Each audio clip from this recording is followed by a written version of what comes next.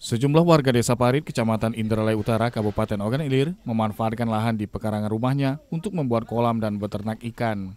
Selain hasilnya dapat dikonsumsi sendiri bagi keluarga, juga dapat dijual ke warga di desa tetangga sehingga dapat membantu ekonomi keluarga.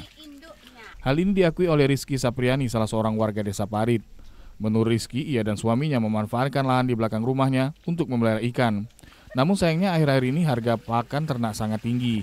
Sebagai penggantinya, ia memanfaatkan sisa makanan untuk diberikan ke ternak ikan. Iya, uh, jadi sisa-sisa makanan yang ada di rumah itu jadi tidak terbuang percuma, jadi bisa kita langsung berikan ke ikan lele, ke ikan lele tadi untuk uh, bahan makanan ikan lele kan, jadi uh, tidak terbuang.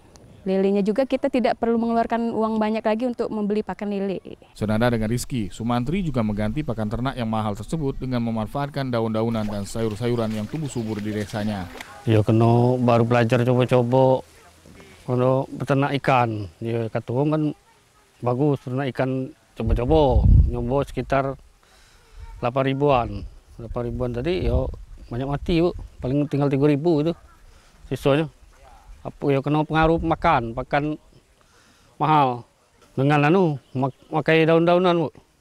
Daun ubi, daun apa namanya? apa keladi. Kolam ikan di desa ini semakin berkurang. Untuk itu perlu perhatian pemerintah, misalnya mengadakan subsidi pakan ternak yang mudah didapat dan juga pendampingan dari petugas pertanian. Muzarafadi, Tim Liputan TVRI Sumsel, melaporkan.